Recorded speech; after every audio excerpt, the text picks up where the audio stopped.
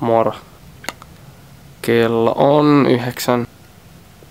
Meidän pitäis nauhoittaa kaikkea. Ootan, että Juhis tulee paikalle. Jaa!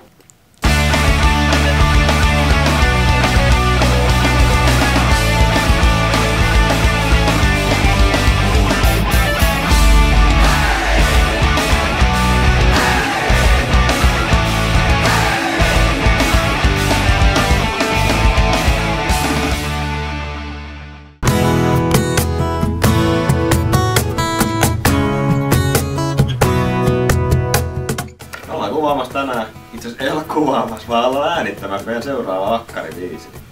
Hyvä Juha. On paljon kuulokkeet käytössä ja Kaikilla on kivaa. vedetään vähän tommosta kitaroita eikä purkkiä, katsotaan mitä tapahtuu. Kuvakseni.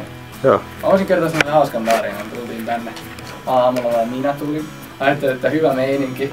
Ja sitten tota, huomasin, että ei ollut tota rumpuraitoa siihen itse demobiisiin, mitä piti nauhoittaa kitaroita.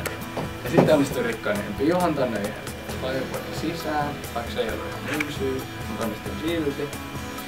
Nyt kaikki on ihan hyvin taas, paitsi että meidän oli on hyvin. Jaa, katsotaan. Tuollaisesta diskosta menisi.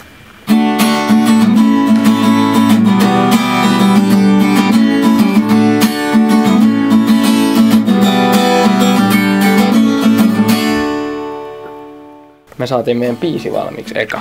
Miltä tuntuu? Tässä me kuvataan video. Niin. Ja puuttuu. Video puuttuu ja puuttuu perkat ja puuttuu Laulut öö, ja laulut. kaikki muu. Se on kyllä sillä että kun heti kun laittaa... Vai mitä se on, mistä puhut tässä? Mä en tiedä mistä sä puhut. Tai mistä sä, heti kun laittaa, tai siis mistä sä oikein puhut edes? Mistä sä puhut? En mä mistään puhu. Mä, mäkään en puhu Mä oon hiljaa mistään. joka Mä oon ihan hiljaa koko aika. Already shared. Great work guys. Thank you. Ihan vitu hyvä.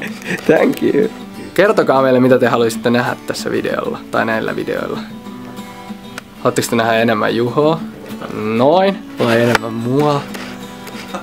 Vai haluatteko te nähdä enemmän tätä meidän treenistä? Vai Oton sortseja? Vai ketsuppipulloa? Vai edipulloa? Mä lopetan nyt kuvaukset, koska mä en jaksa enää editoida tätä. Mä en jaksa editoida tätä. Millään jaksaisi.